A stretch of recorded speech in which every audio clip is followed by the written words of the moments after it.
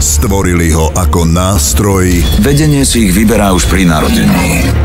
na odstránenie zločinu Žiadny motív, žiadne dôkazy, žiadni svetkovia. Vaši šéfovia vás hodili vlkom. a z lovca sa stáva obeď. Timothy Olyphant Čo tak zomrieť dôstojne? a Olga Kurilenko Organizácia na to nasadila najlepších agentov. Akčnom trháku Hitman v sobotu o 20.45 na Pluske.